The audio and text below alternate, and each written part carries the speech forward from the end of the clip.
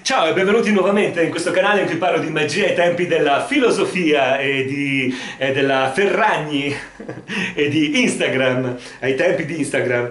Allora, sono qui con la sirenetta dai capelli cilestri, cilestrini che mi sussurrano all'orecchio Re Maggiorù, tu dovresti parlare di certe cose che a te sembrano banali, eh, così secondarie, elementari, invece sono molto importanti, alla gente interessano, dai dai parlane, parlane. Allora, do ascolto alla sirenetta dai capelli cilestri. Come ho dato tante volte, ascolto eh, ad altre creaturine che mi ruotano attorno, perché effettivamente ci sono alcuni argomenti che a me sembrano banali, ma questo dipende dal fatto che io facendo tanti temi natali, avendo studiato l'astrologia da tanto tempo, per me possono sembrare secondari, però quando dico elementare, attenzione non sto dicendo sciocco o qualcosa di stupido, assolutamente no, anzi direi quasi il contrario, perché effettivamente ciò che noi impariamo nelle scuole elementari sono le cose più importanti.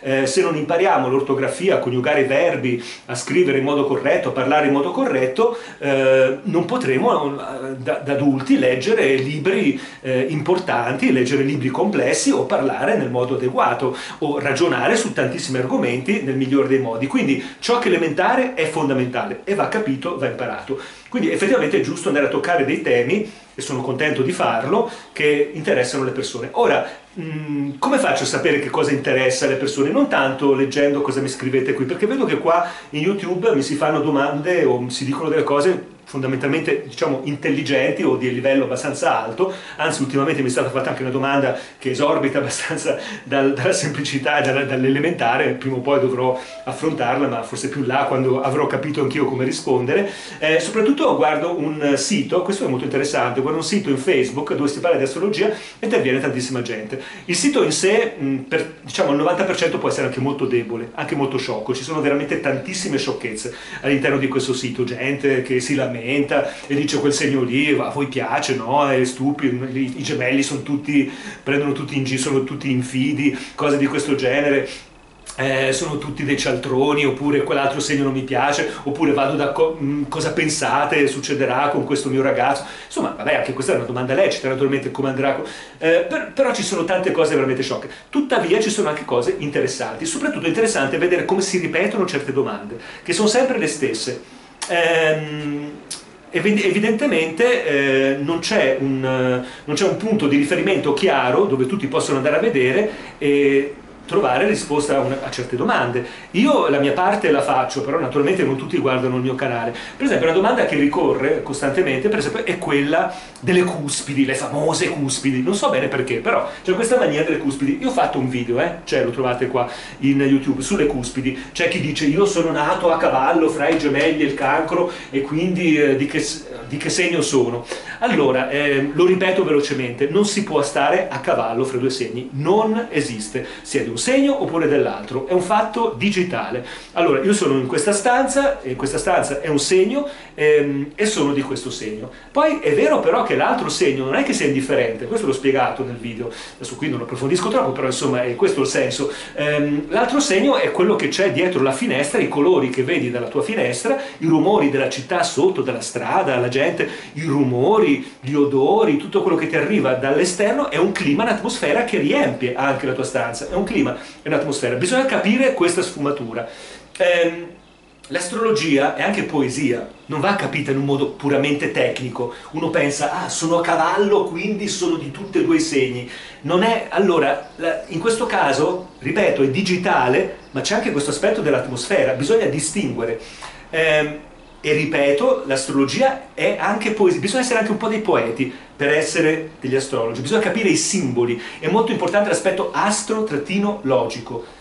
Eh, non basta la semplice, la semplice ragione, il semplice aspetto calcolante del nostro pensiero, il pensiero calcolante. Un'altra cosa che viene molto tirata in ballo è il segno ascendente eh, e que- su questa cosa ci sono veramente tantissimi, c'è veramente tantissima confusione.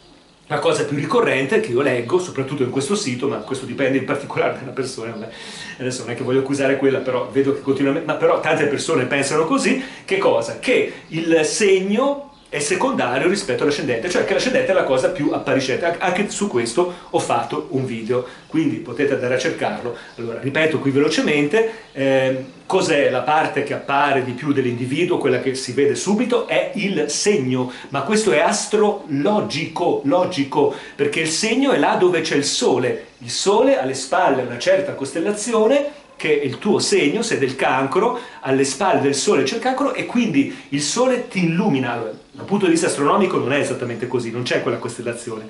Eh, è vero e falso, è vero in realtà da un punto di vista degli equinozi e dei solstizi, ma adesso non sto qui ad approfondire, non è questa la cosa importante, ma semplifichiamo dicendo che il segno, in ogni caso, questo è vero, dipende dal Sole. Il Sole illumina. Eh, cos'altro illumina in questo sistema solare se non il Sole?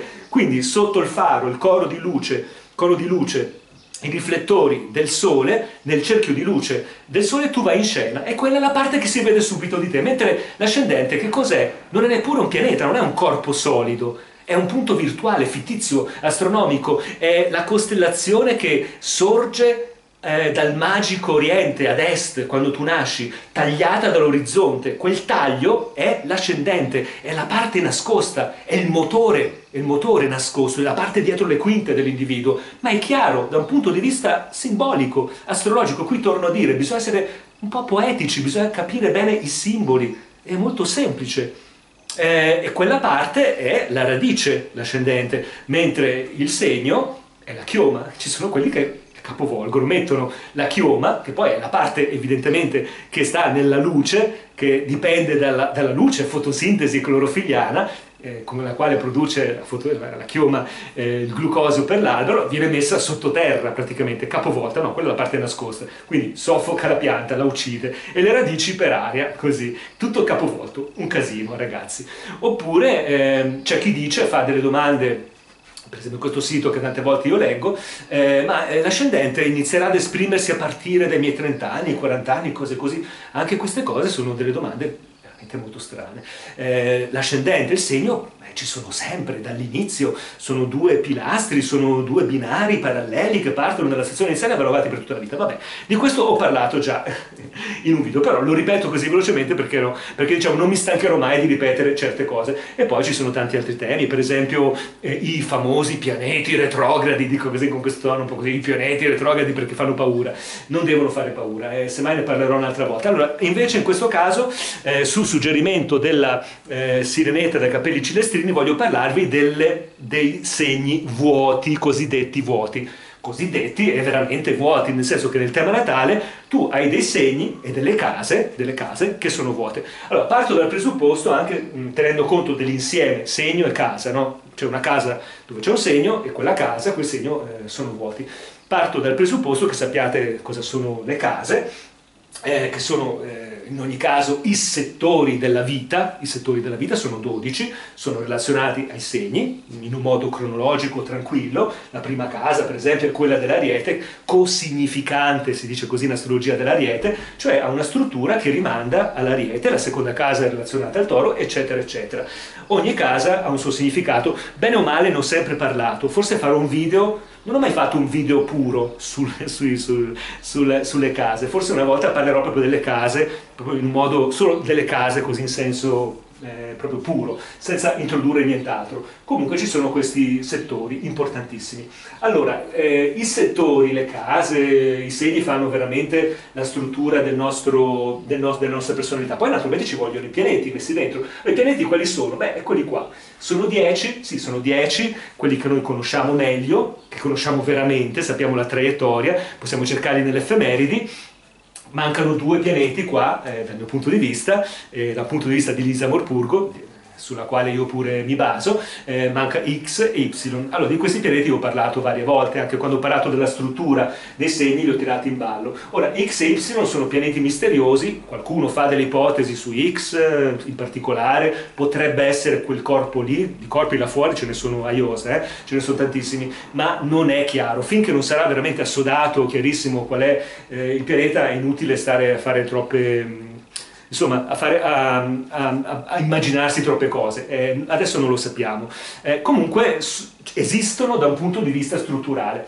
Eh, tenete conto del fatto che, allora, che tutti questi li chiamiamo pianeti, anche il Sole e la Luna, eh, non perché l'astrologo sia stupido e pensi che il Sole sia un pianeta, eh, oppure la Luna, no, eh, per un fatto eh, terminologico barra soprattutto concettuale, perché l'astrologia è geocentrica, l'astrologo guarda il display del cielo, lo zodiaco, guarda questo display, guarda questo cinema, guarda questo schermo e vede questi corpi che si muovono, tra cui c'è anche il Sole e la Luna, e pianeta significa etimologicamente corpo che si muove, e quindi tutti questi corpi eh, sono tutti sullo stesso piano da un punto di vista astrologico. Naturalmente ci sono altri punti di vista, c'è, il punto di vista scientifico, eh, quello reale, eliocentrico, eh, se usciamo dal sistema solare e guardiamo le cose da lontano, tutti i pianeti ruotano attorno al Sole, ma questo naturalmente lo sappiamo benissimo, eh, ma questo punto di vista, capovolto, geocentrico, diciamo antico, addirittura superato, obsoleto, non vale meno, perché vedete che nell'astrologia funziona ancora, funziona ancora, anzi se non, non pensassimo le cose in questo modo non funzionerebbe. Eh, questo eh, sta a significare che la soggettività, visto che l'astrologia ha un valore soggettivo perché vediamo tutto dalla Terra, dal nostro punto di vista, la soggettività ha un grandissimo valore, un grandissimo peso, non bisogna eh, trascurarla. Quindi i pianeti sono questi, più x e y di cui non sappiamo l'orbita esatta, non sappiamo esattamente a, che corpi attribuirli esattamente, astronomici. Allora, i pianeti, i pianeti. Allora, Lisa Morpurgo, tra l'altro, tra parentesi, aveva scoperto questi pianeti e apro qui un'altra una parentesi, una nuova parentesi, dicendo un'altra cosa. Ci sono tante persone che mi chiedono, ma se voglio imparare l'astrologia, che cosa devo studiare? Allora, io vi raccomando in particolare di leggere i manuali di Lisa Morpurgo, i primi che ha scritto, eh, e di non andare troppo oltre, leggere i primi tre, tre, manuali che ha scritto e basta, perché poi ha preso una piega un po' strana, cioè un po' vagamente impazzita, cioè ha preso un po' la tangente, è andata, si è arrampicata sugli specchi, si è inventata un sacco di cose strane, che possono anche essere vere, tutto quello che volete, ma sapete, anche nell'astrologia ci sono un sacco di congetture. È interessante quante teorie diverse continuino a fiorire no? all'interno dell'astrologia, ma naturalmente è un tema interessante, ma come in tutto, la filosofia, la scienza, ma è, normale, non c'è niente, niente di male. Però se volete capire, le... allora io vi dico una cosa, se volete capire davvero le cose, se cercate di capire troppo e prendere tutto, alla fine non capite più niente è questo che vi dico. Invece bisogna cercare di scoprire cosa sono i punti fermi, solidi, concreti, tangibili e che possono veramente servire per capire in un modo diretto. Ora, quello che vi sto dicendo io non dipende da un fatto teorico, dipende da un fatto pratico. Io eh, in fondo ho poca teoria, anzi ce ne ho tanta, in realtà alla fine, ma sono partito da una teoria basica e poi soprattutto sono stato sul campo da gioco, cioè come un calciatore che, che fa degli esercizi, che gioca un po' a calcio, all'inizio un bambino gioca così, a un certo punto, ma eh, il calciatore dov'è che impara eh, veramente a giocare fino in fondo? Beh, eh, impara stando sul campo da gioco, ha un allenatore che vede gli schemi, ma eh, lui in quanto calciatore eh, impara, impara veramente sul campo da gioco. È lì che succedono le cose. In astrologia è la stessa cosa, bisogna imparare quello che c'è da imparare e poi bisogna fare molti temi natali, bisogna guardare i temi natali, è lì che impari veramente. Quindi le cose che io vi dico sono eh, basate non su un fatto teorico così astratto, mh, mm, anche naturalmente c'è un ragionamento, una riflessione che c'è sempre tra il tema natale, la propria testa, l'aspetto teorico, quello che sai già, quello che hai imparato dai manuali, ma eh, c'è soprattutto vedere le persone confrontare tanti temi natali. Eh, questo ve lo dico per, per, dirvi che ciò che vi dico io non è, non è astratto. Eh, quindi io vi consiglio di leggere la prima Lisa Morpurgo e di non andare troppo oltre, perché poi ha preso una piega un po' strana. Questo succede a tutti i geni. Lisa Morpurgo è stata un genio perché ha trovato in particolare certe strutture eccezionali, ma tutti i geni prendono pieghe strane. Pensiamo ad Einstein, per esempio, che aveva ad un certo punto della sua vita eh, fatto un esperimento mentale, lui faceva esperimenti mentali, eh, non è che metteva le mani, lui era schizzinoso, scherzo, no? ma non metteva le mani nelle cose, pensava tutto, ehm, e aveva capito delle cose sul, sull'effetto fotoelettrico, aveva capito l'esistenza dei quanti, i famosi quanti, quelli della fisica quantistica, cioè aveva capito che l'onda elettromagnetica, cioè la luce, in questo caso, non era, fatta, non era solo un'onda, ma era anche eh, fatta di pacchetti energetici E questa è la base della fisica quantistica, un concetto della fisica quantistica. Lui sarebbe potuto diventare il padre della fisica quantistica, invece non è diventato perché poi ha deciso che questa cosa non stava in piedi, perché lui dopo tutto era un uomo vecchio stampo, ragionava in un modo antico, dopo tutto, nonostante fosse un genio, è così, eh, aveva, pensava in un modo, il suo pensiero era calcolante, aveva una ragione forte, e per vent'anni della sua vita fino alla fine della sua vita fino alla morte ha combattuto contro la fisica quantistica. Fisica quantistica funziona perfettamente, se no non esisterebbe il CERN, sarebbero lì a fare nulla e lì eh, ci si basa sulla fisica quantistica per studiare il mondo subatomico, per cercare di capire come è fatta la materia e qual è l'origine eh, dell'universo. Questo per dirvi che i geni a un certo punto prendono una piega strana. Heidegger, Heidegger ha scritto Essere Tempo, eh, fondamentale, Heidegger non c'è filosofo contemporaneo che possa prescindere dal pensiero di Heidegger, non esiste. Eh, c'è la filosofia che va da Platone, Socrate fino a Nietzsche, diciamo, e poi c'è Nietzsche e Heidegger, questi due pilastri fondamentali, questi due elementi filosofici, e da lì cambia tutta la filosofia. Heidegger ha gettato una luce importantissima su, su tutto quello che c'è stato nel passato. Eh, vi ripeto, nessuno può prescindere da Heidegger. Heidegger però poi ha scritto delle cose, sono saltati fuori questi famosi quaderni neri, in cui eh, salta fuori un po' più il suo lato nazista, in cui parla male degli ebrei, in cui poi eh, dimostra filosoficamente, cioè, tenta di dimostrare filosoficamente il fatto che gli ebrei sono malsani per certi motivi suoi e quindi viene fuori un lato un po' malato.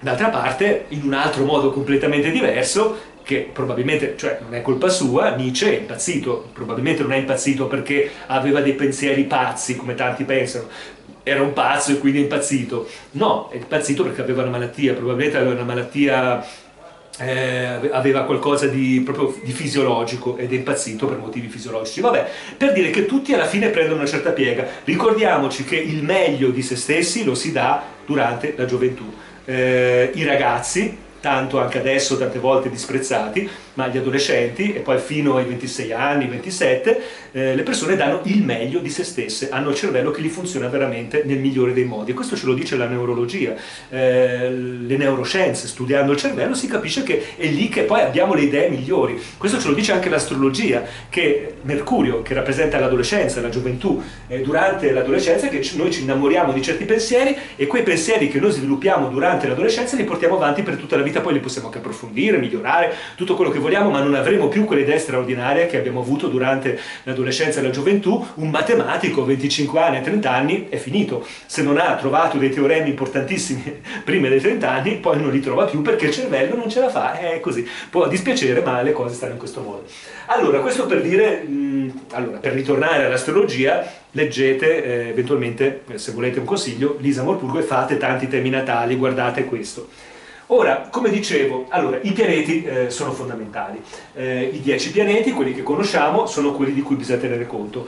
Ehm, questi pianeti sono come pensando ad Einstein eh, alla fisica quantistica, dei pacchetti energetici, sono delle funzioni psicologiche, sono degli dei, sono dei pacchetti energetici. Allora qui salta il principio di non contraddizione perché chiaramente per il nostro pensiero calcolante, per la ragione, eh, per un astronomo è assurdo dire che Giove eh, è un dio, ma perché mai dovrebbe essere un dio? Eh, tra l'altro a quel nome lì, Giove, chi è che gliela dà? Eh, questo è molto affascinante, il fatto misterioso, il fatto che si dia a un pianeta un nome, Giove, eh, e poi è veramente Giove, è Zeus, cioè eh, noi possiamo prenderlo in considerazione nell'astrologia proprio come se fosse quel dio e tenere conto della mitologia proprio greca, proprio delle storie, delle leggende che ci sono state tramandate e che sono antichissime per capire il pianeta. Questa è una cosa eccezionale. Altra cosa eccezionale è che diventa una funzione psicologica, ha un valore psicologico dentro di noi e ha un valore, una ricaduta anche negli eventi, perché noi possiamo fare temi natali di qualunque evento e questo è veramente incredibile,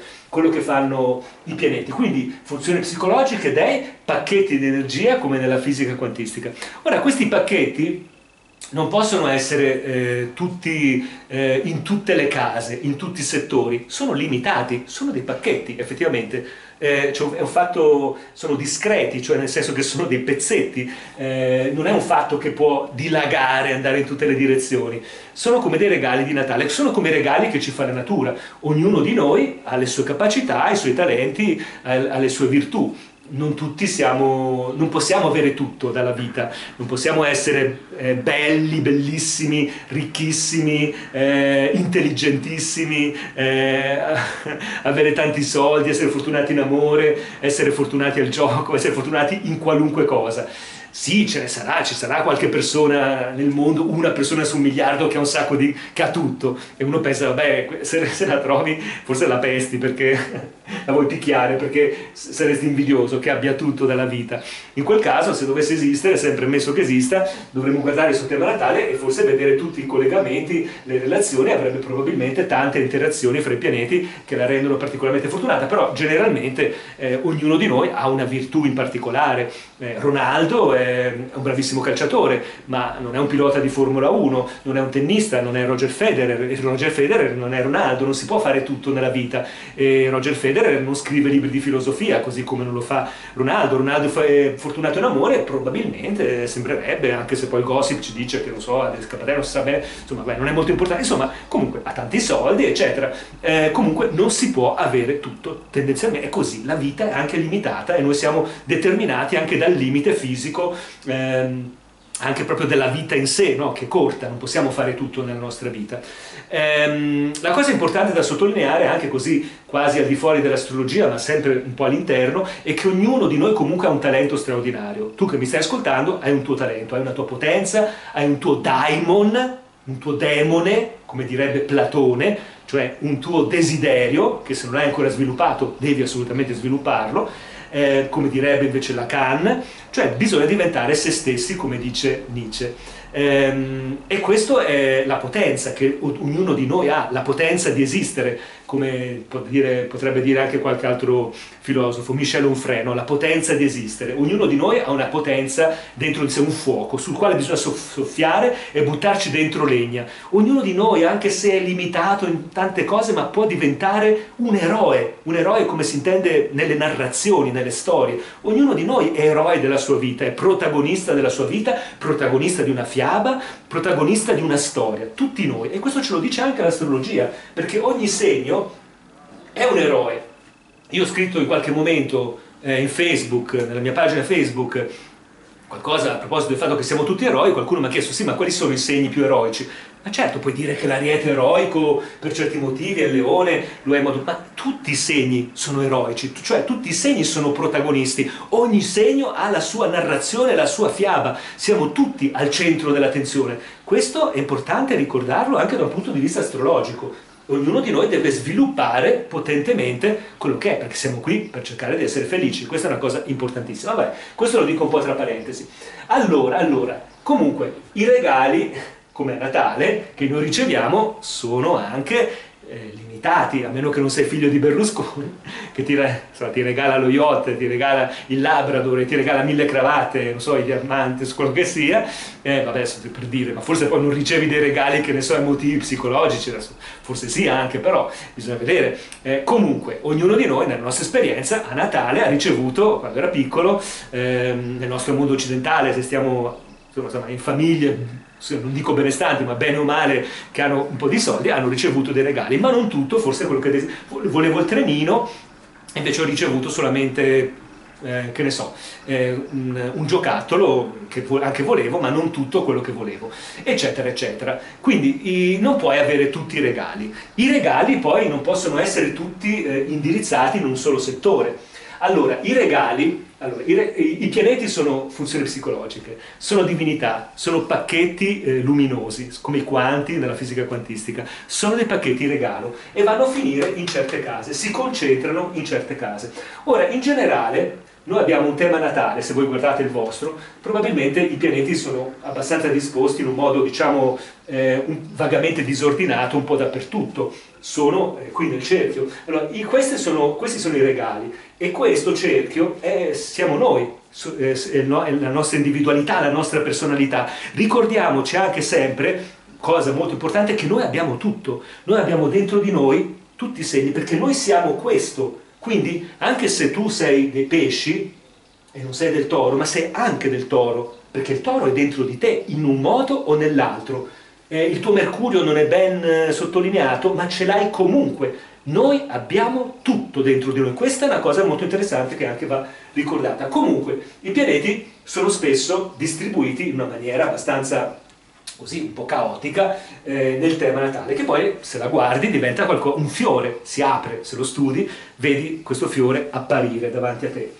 Ehm, allora, eh, si, i, i pianeti, i regali, sono concentrati in certi settori più che in altri. Allora, se una persona ha tanti pianeti, che ne so, nella settima casa, adesso facciamo che questo sia un tema natale, partendo da qui questo è l'ascendente e questo è discendente, come si fa quando si ha un disegno, lo si può fare a mano ma non lo si fa più, ma col computer, no? Vai in un sito, eh, il discendente, eh, scusate, l'ascendente è sempre a sinistra e il discendente qua. Questa è la prima casa, seconda, terza, quarta, quinta, eccetera. Questa è la settima casa. Metti che tu abbia tanti pianeti nella settima casa, che è quella dell'alterità, del matrimonio, della coppia. Eh, che cosa significa? Beh, probabilmente che sei molto, anzi, non probabilmente, che sei molto concentrato sulla coppia. La coppia è importante. Poi naturalmente bisogna vedere tutto e capire esattamente come, in quale modo, quali sono le sfumature, però lì ci sarà tantissimo di te. Oppure tantissimi pianeti nella quarta casa, che è quella della famiglia, sarai una persona per cui la famiglia è tutto, che eh, la, eh, la, la, famiglia ruota attorno a te, eh, i figli, eh, il marito oppure la moglie, la casa, la casa da curare, da mettere a posto, tutto da curare, curare la famiglia e la casa. Questi sono i significati della quarta casa. Quindi se hai tanti pianeti concentrati in un luogo e le tue energie vanno in quella direzione, i pianeti segnalano il settore nel quale tu sei concentrato, ma questo non vuol dire che se una casa è vuota non esista quel settore. Se tu hai la terza casa vuota, che è quella della comunicazione, della relazione sociale, e hai tanti pianeti nella quarta casa, nella settima, quindi sei una persona soprattutto interessata alla famiglia e alla, e alla coppia, non vuol dire che non comunichi, ma tutti comunichiamo. Ritornando al discorso di prima, tutti noi abbiamo tutto. Certo, comunicheremo a modo nostro. Naturalmente, come bisogna fare? Adesso qui lo dico velocemente per capire esattamente come. Allora, la terza casa, visto che rimanda, ecco significante dei gemelli, rimanda ai gemelli, pensando alla struttura dei gemelli, soprattutto nei gemelli è importante Mercurio, il postino degli dei, la comunicazione, bisogna andare a vedere nel tuo tema natale dove si trova Mercurio e, e vedrai esattamente come comunichi avrai un tuo settore, un tuo modo di comunicare particolare, ma al di là di questo rimane il fatto che comunicare comunichi, anche se hai la settima casa vuota, che è quella del matrimonio, non vuol dire che non ti sposi, ma ti puoi sposare tranquillamente, eccetera, eccetera. In realtà abbiamo sempre tutto, solo che ti concentri di più su una certa cosa, come Ronaldo. Ronaldo gioca a calcio e quindi ha un certo settore, il suo settore è il campo da calcio, e poi è ricco, ma forse ogni tanto, adesso dico così in un modo un po' pittoresco, ma ogni tanto ha un'idea filosofica. Tutti noi ce ne abbiamo eh, di idee filosofiche. Ogni tanto pensa a qualcosa di filosofico. Non scrive un libro, ma ha anche quell'aspetto. Eh, ogni tanto eh, forse... Eh, che ne so, gioca a tennis, anche se non è Roger Federer, eccetera, eccetera, adesso per dire, nel senso che, che noi siamo tutto, abbiamo tutto, solo che in certi settori siamo più concentrati. I pianeti ci dicono dove siamo più concentrati. Ora, prima cosa, ci sono tre punti per quel che riguarda le case vuote. La casa vuota va presa, scusate, la casa vuota segno vuoto, adesso le prendo in considerazione sovrapposte, diciamo così, eh, va presa in considerazione oppure no? Ma certamente. Allora, se tu hai la terza casa vuota e nella terza casa hai l'ariete e non ci sono pianeti, che cosa devi pensare? Devi prendere in considerazione certamente il segno dell'ariete. Ora, devi conoscere il senso della casa, in questo caso la comunicazione, l'aspetto sociale, e il senso del segno. Allora, una persona che ha Ariete nella terza casa, comunicazione, è una persona che si esprime come in società in un modo caloroso, come tipico dell'Ariete, esplosivo, pieno di brio, di fuoco, di energia, è propositivo, dai facciamo questo, che tanti abbracci, tanta energia, calore umano, poi a volte anche di grande calma, attenzione, perché l'ariete ha questa ambivalenza, in realtà l'ariete è molto molto calmo, quindi una persona in realtà che ariete cioè io sto dicendo così, ma non è che si agita, è calma, tranquilla, ma ha molta molta energia ed è una persona molto parlante che ti sta accanto nei momenti eh, di bisogno. Può essere anche brusca, come tipico dell'ariete, ci sono più eh, sfumature. Per esempio, questo è un esempio, e se hai la terza casa vuota e hai la, so, il cancro dentro la terza casa, Beh, il cancro è un segno infantile, quindi ti esprimerai in un modo abbastanza infantile, sarai un po' anche spaurito rispetto all'ambiente sociale, eh, cercherai un po' di chiuderti un po' nel tuo guscio, come tipico del cancro granchio che si mette dentro il crostaceo nel suo carapace per proteggere la sua tenerezza. E la gente avrà anche forse una certa eh, simpatia per te proprio per il tuo modo infantile eh, di essere, può essere e quindi ti coccola perché hai un modo di fare così eh, un po' bambin- bambinesco, tante volte questo suscita simpatia, suscita tenerezza e questo nella terza casa. Quindi naturalmente è molto importante tenere conto del segno. Ora, bisogna capire i segni, bisogna sapere i segni. Guardate il mio canale, oppure andate a leggere un libro, oppure guardate qualunque altro astrologo, imparate i segni. Se voi capite il segno, capite anche come funziona all'interno di una casa, anche se vuoto. Quindi effettivamente c'è, solo che è un po' più leggera la cosa, nel senso che là dove ci sono i pianeti, lì c'è maggiore peso. Dove non ci sono pianeti c'è maggiore leggerezza, si dà meno importanza a quell'aspetto. Non è fondamentale per la tua vita. Se per me è importantissima la famiglia, è importantissima la famiglia. Io faccio il mio lavoro, torno a casa, eh, accarezzo la testa dei miei figli, guardo la televisione insieme a mia moglie, eccetera, eccetera. L'aspetto sociale, per esempio, se non ho niente nella terza casa, forse non mi interessa così tanto. La mia vita ruota tutta attorno alla famiglia, sono tanti pianeti qui nella famiglia.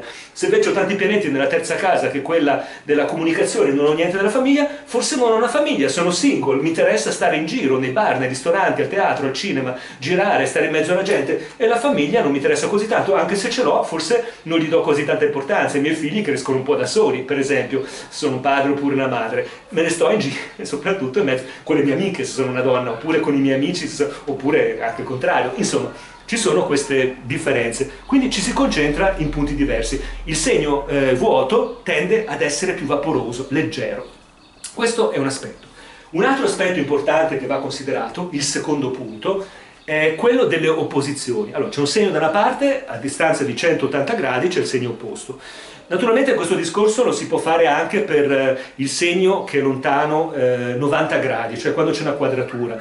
Mi soffermo di più sui 180 gradi perché è più significativo, però tenetelo conto, prendetelo anche in considerazione quando c'è una quadratura, ma nell'opposizione più forte. Allora, se una casa eh, ha dei pianeti, uno o più pianeti, e l'altra casa, quella opposta, eh, lontana 180 gradi e vuota, allora lì c'è uno squilibrio, come proprio nella bilancia, il segno della bilancia, ci sono i due piatti, così, e c'è un piatto in cui pesano tanto, pesa tanto, e l'altro si alleggerisce e perde importanza, si vaporizza, no? perde di significato. Per esempio, se facciamo che questa sia la prima casa e questa la settima, ho tanti pianeti qui nella prima, e questa casa è vuota, la prima è quella dell'io, quindi do molta importanza a me stesso.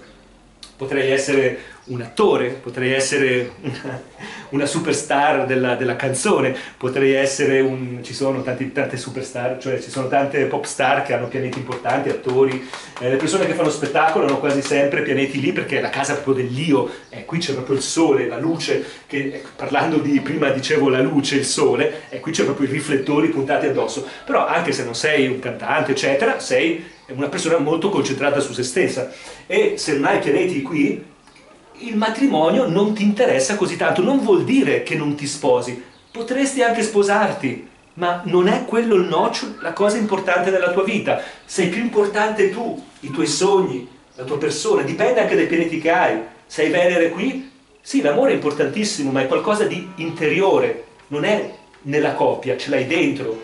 Se tu hai il sole qui, l'individuo che conta sei tu, non così tanto l'altro. Questo però ripeto, non significa che tu non ti possa sposare, forse ti sposi, ma probabilmente è abbastanza facile che poi ti divorzi, eh, stai per un po' e, e, tendi ad essere solo alla fine, certamente, perché questa casa perde molta potenza, viene come risucchiata, già in sé eh, il segno e la casa vuota, il segno vuoto, la casa vuota hanno una loro leggerezza, però se poi anche, ci sono anche i pianeti dall'altra, dall'altra parte che fanno da contrappeso, allora perde ancora di più, ancora più potenza. Eh, questo succede. Ecco, bisogna tenere conto di questo, è molto importante.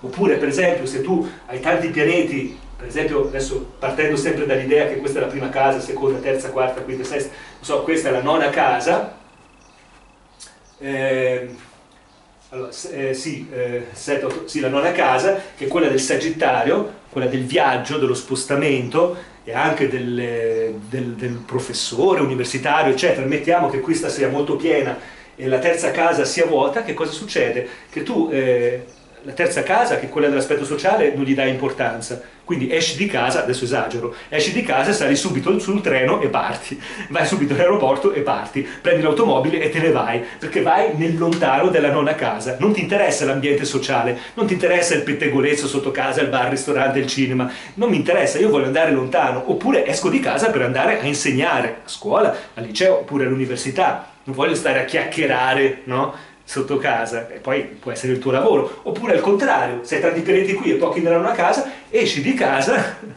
per andare proprio al bar e per andare al ristorante per andare al teatro per andare al cinema per stare nella tua città in ambienti familiari che ti sono consueti e in cui sei tranquillo e puoi essere anche un personaggio perché attenzione chi va lontano Sagittario adesso questo lo aggiungo ehm, non è un personaggio cioè se tu vai tu che sei un personaggio nel tuo quartiere però vai in Cina non sei più nessuno no? Cioè se Tiziano Ferro, vai, adesso non so, forse Tiziano Ferro è famoso anche in Cina, ma credo proprio di no, Laura Pausini, vabbè, famosa dappertutto, però se va in Cina probabilmente mm, va per strada, non la riconosce nessuno, anche Tiziano Ferro, per dire, no? Mentre in Italia, se c'è in giro Tiziano Ferro, la gente, ah, fammi un autografo, facciamo un selfie, eccetera, no? Così, no? Quindi... Ehm, eh, adesso ho perso un po' il filo, però per dire che la terza casa, se tu hai tanti pianeti nella terza casa, eh, tu stai, eh, sì, nel tuo ambiente, nel tuo ambiente circostante, eh, mentre la nona casa non sarà così importante, non è importante il lontano.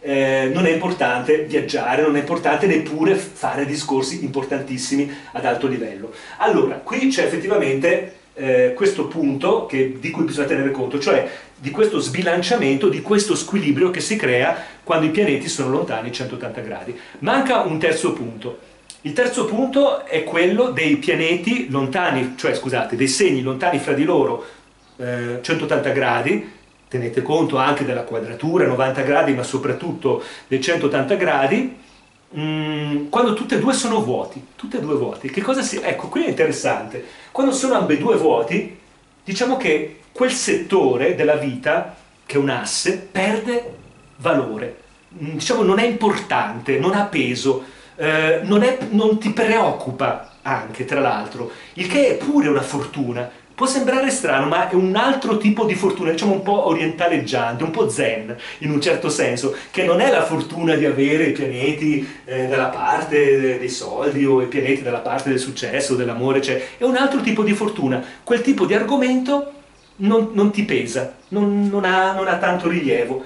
Faccio un esempio molto preciso eh, la seconda casa, facciamo che questa sia la seconda casa, facciamo che sia vuota, la seconda casa è quella dei soldi, delle finanze, tu nasci e i tuoi genitori forse hanno una casa che ti lasceranno, eh, hai dei soldi di base, eh, cresci in, in, un certo tipo di ambiente economico, sei ricco, povero, insomma, hai dei so, pu puoi avere i soldi, la seconda casa rappresenta i soldi che hai di base, mentre l'ottava casa rappresenta varie cose, eh, anche il mistero, l'esplorazione del buio, eh, delle, di ciò che è sconosciuto, dell'ignoto, è anche la casa della cosiddetta della morte, ma non, questo non deve spaventarvi, la morte, eh, anche eh, morte e resurrezione, questo è il significato dello scorpione, non rappresenta solo la morte, basta così, perché la morte c'è una sola volta nella vita, mentre la morte e la resurrezione c'è tante altre volte. Vabbè, ma questa è un eh, un'altra questione. Voglio parlarvi dei soldi. L'ottava casa anche rappresenta i soldi, Le, la seconda casa e l'ottava sono, eh, sono relazionati ai soldi. L'ottava casa è, è l'eredità, sono i soldi che ti arrivano anche attraverso delle assicurazioni, per vie traverse e poi eh, l'eredità. Affinché ci sia l'eredità qualcuno deve morire, infatti in questa casa, quella dello scorpione, il simbolo è M, eh, in italiano almeno questa M è abbastanza significativa, morte anche in altre lingue, ehm, allora è necessario che qualcuno muoia perché ti lascia, ti lasci i soldi. Ehm, quindi anche quella casa è la casa del denaro, ma se l'ottava casa è vuota e la seconda casa è vuota, che cosa significa? Significa che questo elemento, quello del denaro, per te non è tanto importante. Uno dirà, ma come non è importante? Vuol dire che se hai pochi soldi, te la cavi, puoi averne anche pochi, perché non hai dei pianeti importanti, o forse ce li hai ogni tanto, forse a volte neanche abbastanza, ma anche se ne hai tanti, non te ne glori, non ti interessa così tanto, non sei una persona che ha bisogno di comprarsi un sacco di cose, che dà tanta importanza ai soldi. Quando non ne hai, va bene, e quando, esagero, e quando ne hai, va bene pure, eh, ma non, eh, non, pensi che sia lì il centro della tua vita, pensi ad altre cose che sono più importanti del fatto di avere denaro e comprarti un sacco di cose. Quindi la cosa tende ad essere un po' evanescente, a perdere di significato, non gli dai così tanto peso. Qui siamo veramente a livello di piani diversi, ci sono cose messe in primo piano, là dove ci sono i pianeti, in un secondo piano, per esempio là dove c'è una casa vuota con eh, opposta eh, un'altra casa con i pianeti contro, in opposizione, e poi c'è un altro piano ancora più alleggerito dove ci sono due case, tutte e due vuote, opposte tra di loro, eventualmente anche quando c'è una quadratura. E quindi ehm, là dove c'è questa vuotezza, in fondo non c'è un problema che è una sorta anche di estasi, dopo tutto, esagero un pochettino, una sorta di nirvana, eh, volendo essere un po' eh, così sempre orientali dell'astrologia, perché quell'argomento non eh, non, non è un problema nella tua vita. Hai pochi soldi? Non è un problema, ne hai tanti? Non è un problema. Avere anche tanti soldi può essere un problema, attenzione, perché devi gestirli, se ne hai tantissimi. Non è un problema, hai pochi, hai tanti, eh, la cosa è quasi indifferente, esagerando, eh, esagerando, ma la tendenza è quella. Ecco, questa è una cosa che va anche aggiunta.